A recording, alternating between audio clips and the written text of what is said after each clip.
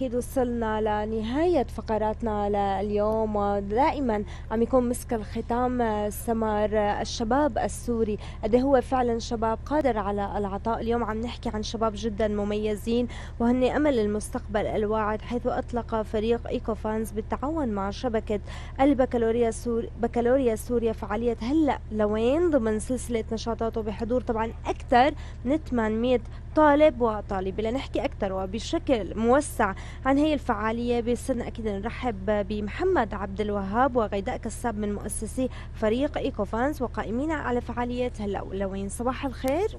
أهلا وسهلا فيكم. يسعد صباحكم وأهلا وسهلا فيكم. صباحك يا رب. آه بالبداية غيداء هلا لوين؟ آه الاسم قد إيه مميز. آه بدي أعرف سبب التسمية وفعالية هلا لوين لنحكي عنها بشكل أكبر. بنعرف هي انطلقت بال 2019 بعد ما خلصوا البكالوريات. خلينا نحكي عن الفكرة كيف إجتك كمان. تمام. هلأ بالبداية بالاسم هلأ لوين؟ نحن ننطلق نسبة لأنه الطلاب جديد بتكون هي طالعة من مرحلة البكالوريا ومنتقلة لمرحلة جديدة اللي هي مرحلة الجامعة. مرحلة الجامعة تعتبر مختلفة كليا عن مرحلة ما قبل الحياة الجامعية بأنك أنت عم تدرس 12 سنة. فأنت هلأ انطلقت انطلقتي لمرحلة جديدة اللي هي مرحلة الجامعة. فهي هلأ لوين اجى هذا المسمى؟ إنه هلأ الطالب هو طالع يمكن يكون محتار ما عرفان وين توجهه. يمكن حتى أغلب الطلاب عنا نحن بتسجل لأنه مجموعة هيك سامح لها مو لأنه هي لاحقه رغباتها أو لاحقه شيء المهارات اللي هي بتمتلكها من جوا. فلهذا السبب نحن أطلقنا هي الفعالية بهلأ لوين؟ هلأ لوين؟ لحتى نشرح للطالب أكثر لحتى نعطيه ميزات الجامعة أكثر آه، فريق ايكوفانز قام عدة فعاليات مختلفة على مر 2019 أحد هي الفعاليات هي فعالية هلأ لوين؟ نعم. المحاور تبع فعالية هلأ لوين؟ تحدثنا عن الحياة الجامعية اللي إحنا بشكل عام. انطلقنا بعدين لحتى نشرح للطالب عن كيفية التقديم للمفاضلة العامة بالإضافة لهالشيء اللي إحنا شرحنا للطالب كيفية التسجيل ضمن مرحلة الجامعة تفاديا للوقوع بالأخطاء اللي بيقع فيها الطالب.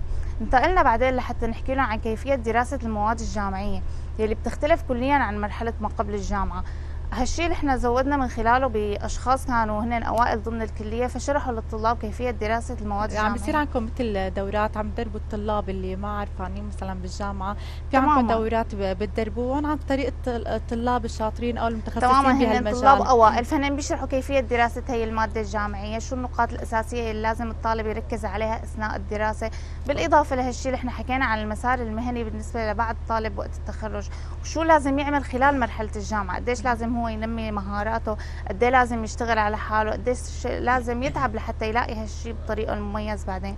بالختام كنا نختم معهم عن طريق المسابقات وبعض الجوائز الرمزية. هالشيء كان يساعدنا لحتى نتقرب من الطلاب أكثر ونتفاعل معهم أكثر نعم. بالاضافه لهالشيء كمان إحنا كرمنا طلاب التجاريه اللي حصلوا على علامات متميزة بمرحله البكالوريا ودخلوا كليات الاقتصاد بشكل خاص فنحن كنا معهم من خلال تكريم خاص لهم وزعنا لهم شهادات شكر تفاعلنا معهم تقربنا منهم أكثر لحتى نهنيهم على هذا النجاح بصراحة اللي حققوه. نعم. يعني أفكار جدا مميزة عم نحكي اليوم عن دعم معنوي آه كثير كبير للشباب ووضعهم على أول الطريق لحتى يستقبلوا المرحلة طبعا. الجامعية. محمد كثير من الشباب والصبايا بنسمعهم بنقول إنه إحنا ما مفكرين الجامعة هيك. هي فعلا بتفرق كثير عن سنوات الدراسة يلي قضوها بالمدارس. خبرنا اليوم 800 طالب وطالبة. كيف كان التفاعل معهم وشو دور تمام. آه، صراحة حتى كان أكثر من 800 بس للأسف المركز الثقافي ما وسع غير ل 800 طالب. يعني نحن بنعتذر في طلاب ما قدرنا حتى إنه نستضيفهم. فعليا مثل ما تفضلت وحكت الآنسة غيداء الطالب عم ينتقل من مرحلة البكالوريا لمرحلة الجامعة عم يكون نوعا ما عنده نقاط مبهمة. يعني مثلا سواء حابب هو يفوت اقتصاد أو حقوق أو إعلام هو ما عنده معلومات كافية عن هذا الفرع. ما عنده معلومات تخليه يتابع. عنده نقاط مبهمة كثير نحن كان هدفنا الأساسي نتواصل مع الطلاب. صراحة التواصل مو كان بس عن طريق الستيج. نحن كان آه، ضمن الفريق التنظيمي وزعناهم بين الطلاب مشان اللي ما صح له يسأل يستفسر أكثر نحن كان عندنا فريق تنظيمي كامل بكافة الكليات. اللي حابب يسأل عن الاقتصاد عن العلوم عن الرياضيات عن الإحصاء. يعني بالنهاية يكون فكرة. ما بدي أنا الطالب يفوت وبعد ما يتخصص مثلا آه، الفرع كذا يقول إنه والله حسيت حالي ماني ملائم أو ماني مناسب. وهي عم كثير عم تصير مع الطلاب كان هذا الهدف الأساسي لفعالية هلأ لوين؟ إنه الطالب يعرف كل شيء عن مستقبل فرعه قبل ما يدخل له لحتى يعرف هو وين بيلاقي حاله. فعاليته يمكن بسوق العمل ما هيك؟ تماما تماما. بالإضافة إلى إنه أغلب التخصصات نحن الطلاب ما بتعرف إنه مجالها بسوق العمل. فنحن شرحنا لهم أكثر إنه في حال إن شاء الله دخلت الفرع وتخرجت آه، شو فائدة المعدل العالي لك نحن حنساعدك بهذا الشيء. آلية ربطك بسوق العمل آه، كيف ممكن تلاقي شغل؟ وهي الأمور كلها عم تكون مبهمة عن طالب البكالوريا لأنه هو طالب طالع من فترة ضغط فترة امتحانات سنة كاملة دراسة. فكان هذا الهدف الأساسي هذا الشيء اللي تم خلال الفعالية بالمركز الثقافي. غيدا خلينا نحكي عن آه، كيف عم تلاقي الإقبال؟ بما إنه جديد آه، هلا هلا لوين؟ خلينا نحكي الإقبال الطلاب كيف؟ والطلاب اللي حابين يشتركوا معكم عن طريق آه، مين يعني؟ عرفتي عنكم مركز معين آه، رقم تليفون ولا عن آه، تمام. مواقع التواصل الاجتماعي؟ تمام. هلا نحن بصراحة أكثر شيء بيخدمنا هو مواقع التواصل الاجتماعي بالإضافة لأنه نحن عندنا رقم خاص. بنحاول دائما نحن نجاوب على استفسارات الطالب. الطالب كثير عنده شغلات مبهمه ما بيقدر إنه يوضحوا له إياها. بالأخص الطالب اللي طالع من مرحلة البكالوريا. كلياتنا مرينا بهي المرحلة فيمكن هذا الشيء خلق جواتنا نزعة إنه نحن لازم نساعد هذا الطالب. لازم نوضح له بعض الأمور لحتى ما يوقع فيها يرجع بالأخطاء.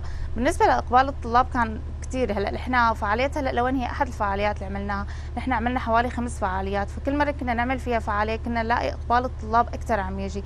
الطلاب عم تخبر بعضها. حتى بنهاية الفعالية يقولوا لنا الطلاب إنه كملوا معنا لقدام. يعني نحن توضح لنا بعض الأمور يلي ما كنا نحن مثلا عرفانينها غالبا كمان مثل فيك تاخذي مثال كلية الاقتصاد. كلية الاقتصاد فوت عليها الطالب ما له عرفان اللي بعدين هو وين مكمل.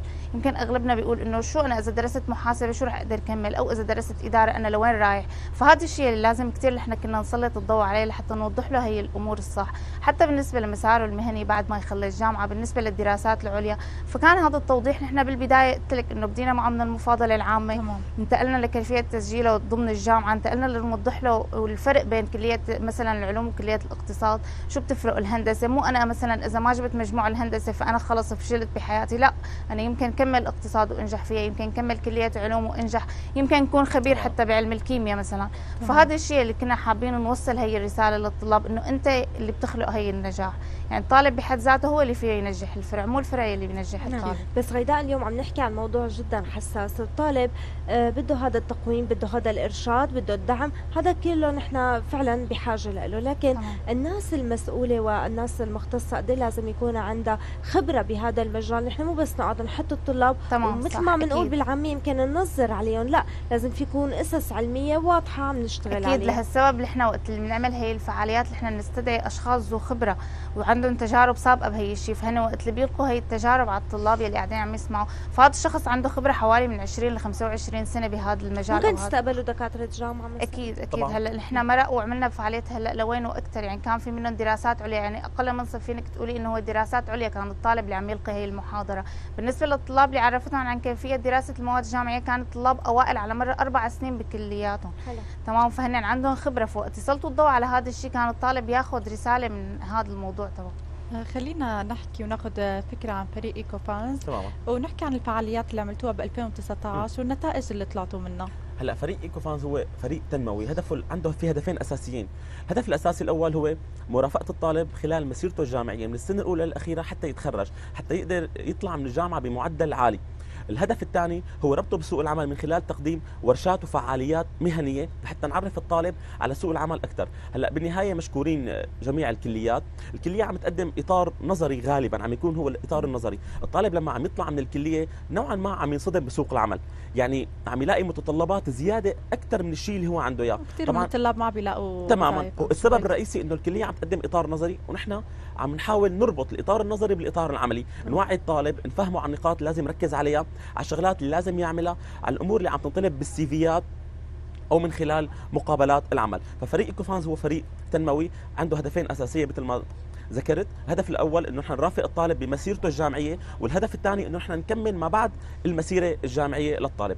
أما بالنسبة للفعاليات اللي قدمناها قدمنا عدة فعاليات وورشات تقريبا عم يكون كل أسبوع عنا واحدة بأماكن مختلفة طبعا. قدمنا مثل هلأ لوين اللي عم نحكي عنها في هلأ على الاقتصاد قدمنا آه، فعالية كتابة السي في. من فترة كمان قدمت فعالية آه، طريقة الإجابة على الأسئلة بالامتحان. يعني طبعا صار اقبال كثير كبير عليها. طالب السنة الأولى بصراحة لما عم يفوت على الجامعة آه، بيستغرب ضايع ومستغرب تماما. وخصوصي. إنه مثلا لما يقولوا له إنه المادة مؤتمتة وبدنا نظلل بكرة بالامتحان. طب هو شو يعني؟ شو يعني مؤتمتة؟ شو بيظلل بالامتحان؟ تمام. واحيانا عم بيروح كثير وقت لما تتوزع الاوراق بالامتحان الطالب. فلما أنا عملت هي الورشة اجى أخبار كثير يعني صار الطلاب تقول لي إنه هن عن جد استفادوا وصار يعرفوا إنه هن كيف رح يجاوبوا. آه، آلية اختيار السؤال. فنحن تقريبا كل أسبوع عم نقدم فعالية. نحن بمثل هالوقت كل سنة عم تكون فعاليات فريق إيكو فانس كثير كبيرة. نستهدف أغلب الطلاب الجامعيين اللي هن السنة الأولى لحتى تتكون عنهم فكرة كاملة سواء عن الجامعة والكلية اللي اختاروها أو سواء عن المتابعة بهاي التخصص أو الفرع أكيد. خلينا نحكي اليوم عن متابعة الطلاب. قدرتوا تاخذوا بإيد الطالب يختار الفرع آه، يعرف وين توجهه وين إمكانيته. قد إيه مهم نحن نتابعهم بعد هذا الشيء بجامعتهم بالفرع اللي اختاروا؟ تمام فنحن تحديدا لهي النقطة حابين نوضح عليها بإنه حتى ذكرنا اللي إحنا أكثر مرة وخبرنا هي الطلاب إنه نحن بدينا معكم بهلا لوين بس نحن مكملين أكيد بعد هلا لوين شو ممكن نحن نقدم لكم. يعني نحن مو مجرد إنه عرفنا الطالب إنه مرحلة البكالوريا شو الفرع اللي يختاره ولوين يتوجه. بنفس الوقت نحن دائما معيار النجاح عنا هو الاستمرارية بتقديم هذا الشيء. فلهالسبب نحن مستمرين مع الطالب فيما بعد. ممكن تنصحي الطالب مثلا هو حابب يفوت هذا الفرع وأنت مثلا لمستي عنده شيء موهبة خاصة ممكن تنصحيه إنه مثلا لا تروح على هذا الفرع مثلا روح على كلية الفنون أو مثلا إنه. بيحب الرياضيات روح على الاقتصاد يعني صارت هذا الشيء؟ صارت معي بأحد الفعاليات هو الطالب كان محتار بين هندسة المعلوماتية والإقتصاد. فقال لي إنه أنا عندي تجارب سابقة بهندسة المعلوماتية ومحتار بصراحة بين الاثنين. فأكيد أنا ساعدته ووجهت له بعض النقاط. وبعدين تركته قلت له أنت بإمكانك تحط سلبيات وإيجابيات هذا الفرع بالنسبة لك وسلبيات وإيجابيات هذا الفرع كمان بالنسبة لك وترجع أنت تعمل مقارنة بيناتهم لحتى تشوف أنت لوين متوجه. يعني بعد خمس سنين أنت وين شايف حالك؟ حدد هدفك من البداية لحتى تنجح ضمن هذا الفرع. وشو صار معه بعدين؟ هلا رجع حكاني بصراحة وقال لي إنه هو سجل هندسة معلوماتية. كان هو تمام. رغبانه أكثر على الافتراضية على الجامعة الافتراضية. فبالعكس يعني أنا انبسطت وقت قدرنا نحن نساعد هذا الطلاب فقديش نحن عم نقدر نوصل رسالتنا بالشكل الصحيح. بالإضافة لهالشيء مثل ما ذكرت إنه نحن بننجح أكثر وقت بنستمر مع هذا الطالب ضمن مرحلته الجامعية وهي الإفادة اللي بنقدر إنه نقدمها أكثر نعم. محمد شو بتعت... شو بيعتز فريق ايكو فانز اليوم؟ شو هي المعوقات يلي ممكن تبطئ شوي من فعالية هذا الفريق؟ هلأ بصراحة نحن كفعاليات عم نعمل بشكل كبير. بس أحيانا عم تكون الفعاليات خجولة بصراحة. يعني ما في داعم رئيسي مثلا على سبيل نعم. المثال. أحيانا نضطر نأجل فعالية أو تتأخر شوي لحتى نلاقي مكان مناسب أو مكان يسع العدد الكبير من الطلاب.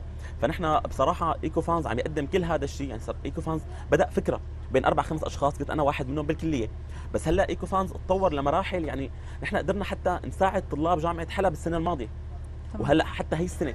ف Eco Fans وين كان وين صار؟ من فكرة لمشروع ضخم بس بإمكانيات خليني أقول خجولة نوعا ما. يعني بصراحة نحن عم نبذل قصارى جهدنا لنقدر نساعد الطالب لكن ضمن إمكانيات محدودة نعم، بس بصراحة. كمان عفوا عم نحكي نحن يمكن سمر عن فريق يمكن شوي حديث العهد شوي شوي يمكن نحن خطوة بخطوة تماما تماما. نقدر ننجح مزبوط تماما. بس نحن عم يكون التطور عنا ضمن فريق Eco Fans آه، سريع. سريع. يعني بصراحة نحن خلال سنة واحدة انتقلنا من دمشق لحتى نخدم طلاب كلية الاقتصاد على سبيل المثال بحلب وبالقنيطره تمام. يعني يعني قدرنا نتواصل مع عالم وقدرنا حتى عم نساعدهم إما بالطلعة أو بالتسجيل أو بكل شيء بامور بأمور إنه الطالب عم يقول لي طب أنا طلع لي مثلا بحلب. طب. هو ما بعمره ما بيعرف حلب بعمره مو طالع لهونيك. أو أنا طلع لي مثلا بسويدا طب كيف ممكن تساعدني؟ نحن عم يكون عندنا أشخاص تطلع مع الطالب.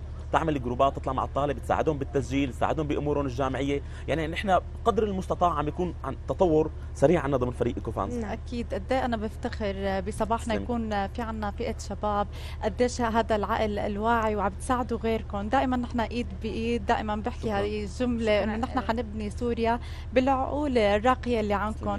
نتمنى لكم أكيد التوفيق ونورتوا صباحنا واهلا وسهلا تسليط الضوء. على هي الأمور من خلالكم. وهذا الشيء بيعطينا دافع وقوه لنكمل بشيء أكبر وأعظم من هذا الشيء شكرا لكم وشكرا أيضا لكل أعضاء الفريق يلي شكراً كنا. بنتمنى يكونوا كلهم موجودين شكرا. لكم شكراً لك. شكرا لك